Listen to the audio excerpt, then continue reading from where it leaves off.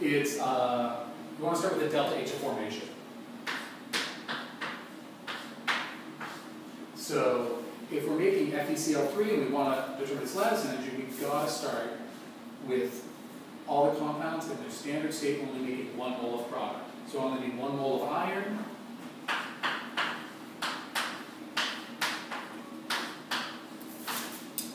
I'm gonna need three moles of chlorine, so that's gonna be three halves Cl two.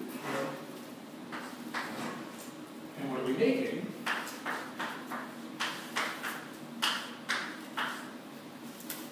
We're making our FeCl3 solvent. So key, and depending on where you're taking this class, they may actually demand that you actually write the delta H formation, so we're gonna write that down. This is the foundation of every Born-Haber cycle.